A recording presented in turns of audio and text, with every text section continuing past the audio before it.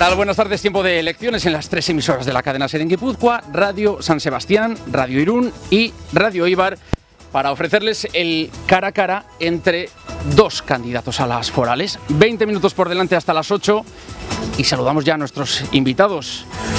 Olano Jauregui, Xavier, candidato por H. Bildu a diputado general. Arracha León. Arracha León, bay. Olano Arrese, Markel, Arracha León. Arratsaldeon, bai. Candidato por EAJPNV a diputado general. Les explico a ustedes y también a nuestros oyentes que van a tener un minuto aproximado por cada intervención. Les pediré que respeten el tiempo, aún así yo mismo me voy a encargar de, de marcarles ese minuto aproximado. Seré flexible. En todo caso, eh, tendrán también, sepan que tendrán otra segunda ronda para, para la réplica. Eh, comenzará, según ha mandado el, azar, la moneda, el euro en este caso, eh, comenzará Markel Olano con la primera de las, de las chandas, de los turnos. Y comenzamos planteando un diagnóstico general eh, de, de Guipúzcoa y permítanme el paralelismo, les preguntaré si Guipúzcoa va bien, sería tal vez la, pregunta, ¿eh? después de cuatro años con, con Bildu en el gobierno foral, ¿el camino es bueno o equivocado y por qué? Markel Olano.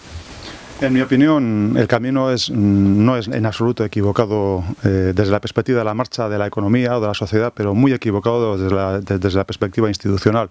La gestión que ha realizado Bildu estos cuatro años ha sido nefasta para el territorio, no solamente en lo que ha hecho mal o en lo que ha dejado de hacer, sino el modo en que ha hecho las cosas. Bildu ha mostrado un carácter muy impositivo en una serie de políticas muy cercanas a la ciudadanía, por ejemplo, en el tema de la recogida de las basuras y en temas relacionados con la economía y en general en la sociedad.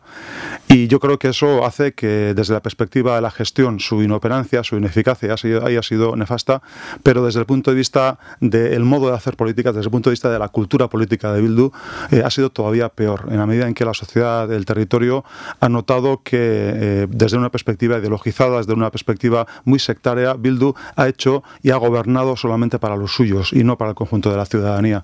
Y por ello digo que eh, desde la perspectiva de la gestión institucional, Guipúzcoa va en muy mal camino y se va a producir una encrucijada muy importante estas próximas elecciones y en esa encrucijada la ciudadanía va a tener que elegir entre el modelo del PNV fundamentalmente y el modelo de Bildu. Bien, como comprenderá, yo creo que Guipúzcoa va bastante bien. No todo lo bien que quisiéramos, pero sí bastante bien y bastante mejor que otros territorios eh, cercanos. Eh, para valorar eh, la situación de un territorio, en este caso Guipúzcoa, lo mejor es acudir a los, a los indicadores socioeconómicos. Y si, no, miramos los indicadores socioeconómicos más importantes, tasa de paro. En Guipúzcoa en torno al 12%, eh, Vizcaya 15 y pico, Álava por encima. Exportaciones, el nivel de exportaciones de Guipúzcoa es superior a los otros territorios. Eh, turismo, mm, el turismo en San Sebastián y en Guipúzcoa está alcanzando cifras récord que no había conocido jamás en la historia. Eh, reparto de riqueza, porque no solo vamos a hablar de indicadores económicos, sino socioeconómicos. Eh, es el único territorio donde no hay ningún tipo de recorte social. Es más, cuando otras instituciones están aplicando recortes, Guipúzcoa es quien está complementando esos recortes para que los ciudadanos no padezcan ningún tipo de recorte. Markel. Simplemente, bueno, para hablar de indicadores, eh, entiendo que a la gente fundamentalmente lo que le interesa es, es el desempleo y la evolución dramática que ha tenido el conjunto del país y también el territorio de Guipúzcoa desde el punto de vista del incremento del paro. Y yo lo que tengo que decir es que es cierto que Guipúzcoa tiene una situación de desempleo mejor que el resto de territorios, pero también es cierto que hace cuatro años tenía una situación mucho mejor que la de, eh, por ejemplo, Álava y Vizcaya. Y lo que hay que mirar es eh, la evolución de ese desempleo. Y la evolución, mirando, por ejemplo, al crecimiento que ha tenido el desempleo eh, desde el 2000, en este caso 11 al 2015, en Vizcaya ha tenido un incremento inferior en desempleo al de Guipúzcoa. Luego empezó desde, unas, desde unos números inferiores y eh, desgraciadamente la evolución esta legislatura ha sido negativa en cuanto al desempleo. Yo creo que por eso no podemos hacer en absoluto ninguna lectura triunfalista de los datos en Guipúzcoa. Eh, y entiendo que desde el punto de vista de Bildu se está cometiendo una irresponsabilidad porque eh, uno si toca un poco la calle, toca las empresas, se da cuenta de la tremenda preocupación que existe en la ciudadanía y en las empresas y la tremenda indeterminación y la sensación que tiene la gente de qué será de su futuro económico y la de de sus hijos. Xavier. Si alguien ha tocado empresas estos cuatro años, creo que he sido yo. Por mi despacho han pasado cientos y cientos y cientos de empresas en dificultades y en todas ellas hemos hallado mecanismos para poderles ayudar y para que sigan trabajando y funcionando. Eh, la evolución del paro no es, no es eh, como dice Markel, eh, peor en Guipúzcoa. Los datos son precisamente al contrario.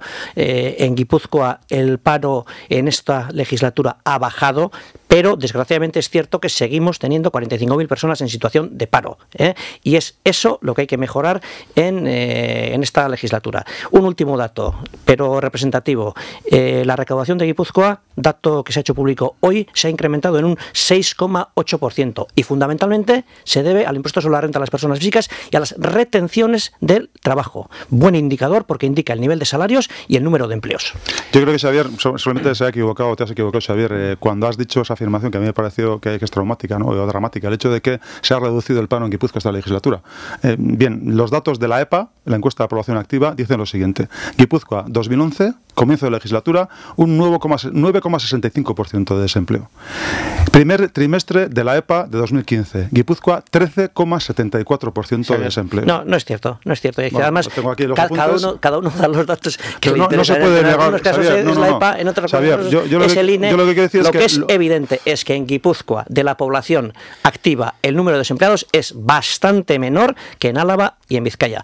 Pero, a pesar de todo, siguen siendo peor, muchos. Siguen siendo demasiados. Vamos con la querella por Videgui, el asunto tiene que salir y ha llegado el momento. eh, puro electoralismo y manipulación por un lado, muestra de una gestión sospechosa por otro. Xavier Olano.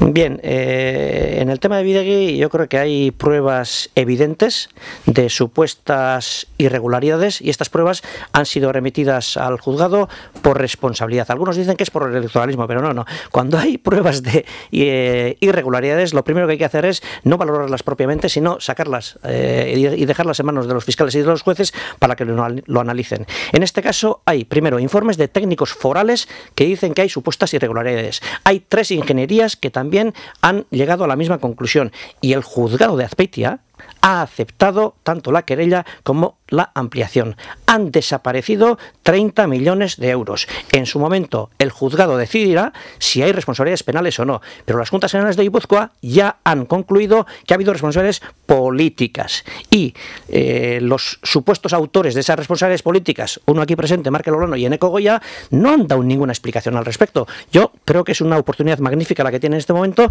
y me gustaría escuchar sus explicaciones. Es falso que no se haya producido explicaciones porque tuvimos una comisión de investigación. Eh, Xavier Lano no está en Juntas Generales, no es juntero, pero yo sí. Y nosotros tuvimos una comisión de investigación y, dimos toda serie de explicaciones en esa comisión de investigación. Luego es falso que no se haya producido.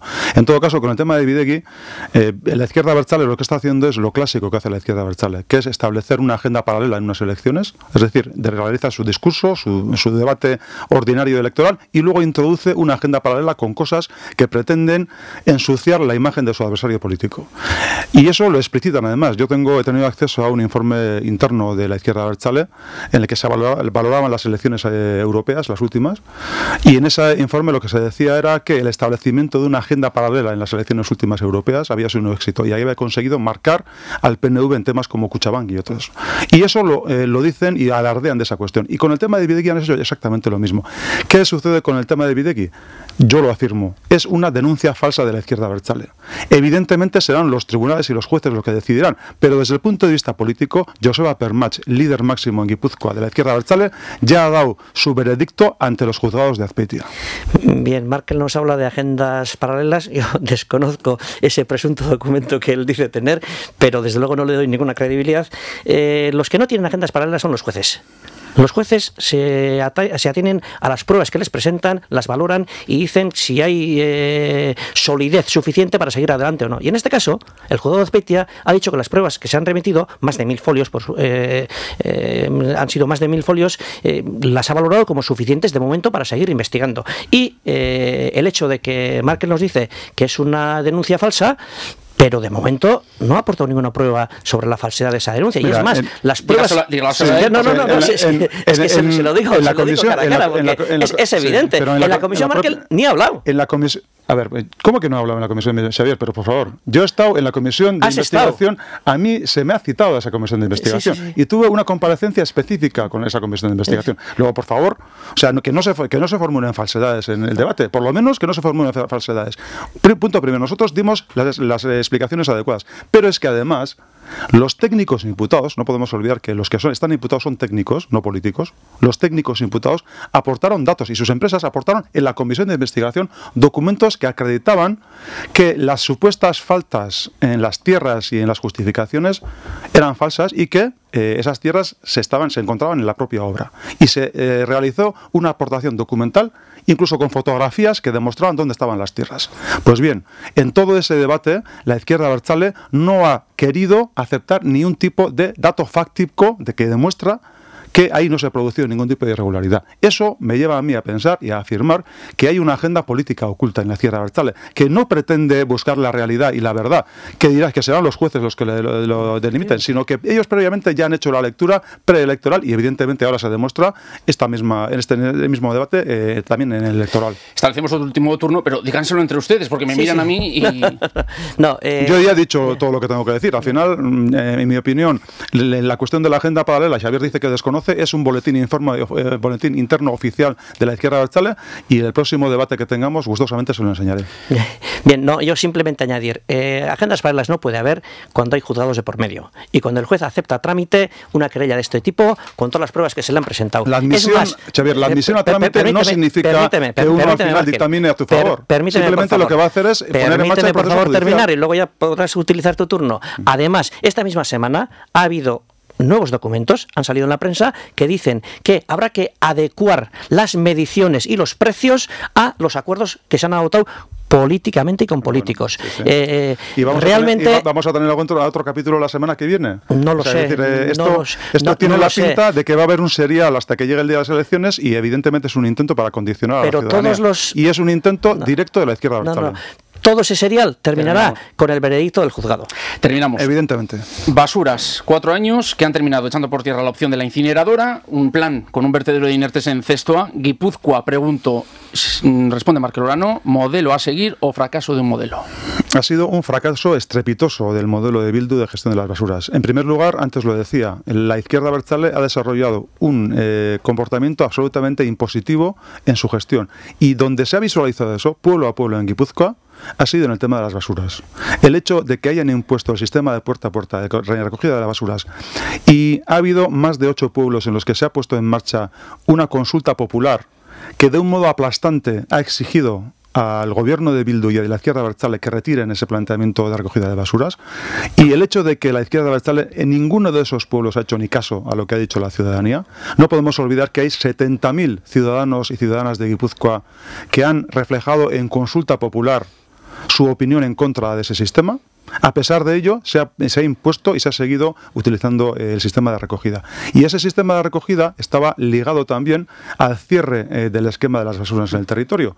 Eh, la izquierda estable con lo que decía era, si ponemos en marcha el puerta a puerta, no va a hacer falta planta de incineración y como no va a hacer falta, vamos a poner una serie de sistemas alternativos en marcha. Pues bien, no han sabido, no han, no han sido capaces de poner en marcha y terminó ni, un sol, ni una sola infraestructura para la gestión de las basuras en el territorio. Sin lugar a dudas, la experiencia guipuzcoana es un modelo a seguir. Y no lo decimos nosotros, lo dice Europa. El 2013, el comisario de Medio Ambiente dijo clarísimamente que la experiencia guipuzcoana era elocuente y ejemplar. Eh, hace 15 días, más o menos, el responsable de la Oficina de Medio Ambiente de, la, de Europa también ha dicho que Guipúzcoa es el ejemplo a seguir. Y hoy mismo, Hoy mismo hemos recibido una comunicación desde Hannover diciendo que el modelo guipuzcoano es el que precisamente hay que seguir y la planta de tratamiento mecánico biológico es la más útil para Guipúzcoa. Pero en el fondo, en cuestión de residuos hay dos sistemas o dos modelos. El modelo guipuzcoano, que, prima un reciclaje el mayor posible, el mayor porcentaje posible, y en estos momentos estamos rondando el 50%, y el modelo vecino, el vizcaíno, que está ahí mismo, que tiene eh, su, eh, su Zacalbarri, que tiene su incineradora y que además sigue utilizando el vertedero y solo tiene tasas de, reciclaje en torno al 25-30%. Ahí está la idea. Mm, Xavier habla de dos modelos. Efectivamente hay dos modelos. En Europa hay dos clases de modelos a la hora de gestionar las basuras. El primero, el que es el que recicla y composta todo lo que se puede y después con la fracción resto lo que hace es generar energía. Y en Alemania, en Suecia, en Dinamarca, en todos los países más avanzados de Europa, lo que los países hacen es alrededor de un 60% de los residuos los reciclan y el 40% de la, eh, la, fracción resto que no se puede ni compostar ni reciclar lo eh, incineran y de ese modo generan energía. Y en, digamos, en las directivas europeas pertinentes y, dedicadas al tema de la, gestión de las basuras, lo que priman precisamente es esa jerarquía a la hora de gestionar las basuras. Y la segunda alternativa es la que se está poniendo en marcha o lo que se, la que existe en los países menos avanzados de Europa y es la que pivota sobre el vertedero. Y la izquierda Berchale lo que quiere es establecer un sistema que cierra con un vertedero. Y además ese vertedero, que es el de, ese es el de de Cestona, ese vertedero no tiene los permisos como para poderse poner en marcha, con lo cual no tenemos ni uno ni otro, ni el más avanzado ni el menos avanzado. Es que no tenemos sistema en Guipúzcoa. Lo que propone el PNV es ir contra corriente. En Europa en los últimos cinco años no se ha abierto ninguna planta incineradora. Siguen funcionando las viejas, pero no se ha abierto ninguna nueva planta incineradora. Y hoy, en el 2015, pretender abrir en Guipúzcoa una planta incineradora es ir contra corriente. ¿Por qué? Pues porque la incineración produce excesiva contaminación y es que además luego precisa de vertederos de escorias mucho más tóxicas que lo que nosotros pretendemos plantear en Osimbelts. En Osimbelts, en su caso, irían residuos inertizados o inertes. Y las escorias, que son necesarias y necesitan un vertedero, son mucho más tóxicas. El PNV intenta vender la incineradora sin decir que hay ningún tipo de vertedero pero los vertederos en vuestro modelo son auténticamente necesarios. Lo que no decimos es que el sistema de cierre tiene que ser un vertedero, que es lo que dice la izquierda Berchale, y es lo que dice Europa que no se puede hacer, porque en este momento lo que dice Europa es que el sistema de cierre de la gestión de las basuras no puede ser un vertedero, que es precisamente lo que propone la izquierda Berchale. En todo caso, yo acabaría diciendo una cosa. en este momento Bildu habla de la contaminación que genera una planta de incineración. Las plantas de incineración modernas generan mucho menos contaminación que cualquier fábrica ordinaria del territorio de Guipúzcoa. Eso para empezar. Y genera muchísimo más contaminación. Los camiones que van todos los días a Funes a llevar los residuos del territorio de Guipúzcoa, que mire usted qué hipocresía estamos viviendo que no somos capaces de gestionar nuestros propios residuos y los tenemos que llevar al territorio vecino de Navarra y en este caso además con unas protestas impresionantes por parte de la ciudadanía allí. Sí, que quiero terminar porque para cerrar eh, empezar y terminar es eh, excesiva ventaja. No, simplemente, no, simplemente sin más. Eh, la incineración precisa de vertederos. Y el ejemplo lo tenemos en Vizcaya, donde el vertedero de Artigas se ha prolongado la vida hasta el 2040. En cambio, en Guipúzcoa estamos cerrando. Y hablando de lo de Funes, sí es cierto que de Guipúzcoa salen bioresiduos a Funes, pero el mismo alcalde de Funes lo ha dicho esta semana, eh, van desde Vizcaya tripas de conejos que huelen muchísimo peor. Pero las que la eh, mayoría de los residuos que van a Funes son los de Guipúzcoa, eso no tiene ninguna duda. Bueno, vamos a ir terminando. Dos minutos escasos. ¿eh? Yo les quería plantear ese escenario que ven a partir del 25 de, mayo. Bildu que puede ganar, pero necesitaría de aliados para esa mayoría absoluta. El PNV que parece dispuesto a pactar con el PSE. ¿Cómo ven ese escenario? Rápidamente y en 30 segundos. Marque Lolano. Pues nosotros lo que hemos dicho por activa y por pasiva es que Guipúzcoa no se puede permitir otros cuatro años de gobierno de Bildu y que nosotros tenemos el compromiso ante la ciudadanía de gobernar.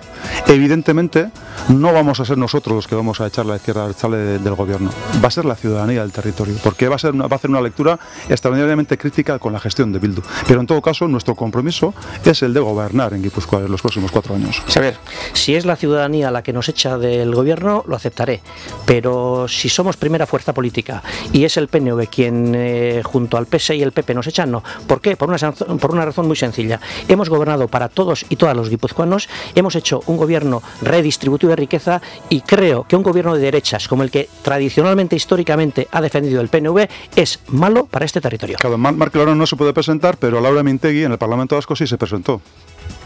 No, no, Markel Olano se puede presentar, pero eh, no hay que olvidar que Markel Olano en su momento, Laura por ejemplo, se presentó elim- como elim- Lehendakari, como eliminó, candidato a Lehendakari. no, no, eliminó el impuesto sobre el patrimonio en una figura y Yo- una, yo lo que una quiero decir, Xavier, es que- tenemos que dejar aquí, se gobierno nos acaba de el tiempo. derechas. Gracias, Sois Markel Olano. un gobierno de derechas. Markel Olano, Xavier Olano, Eskerrik asko, Los Olano, cara a cara aquí en la SER, Eskerrik asko biei. Eskerrik asko zuei. Zuei.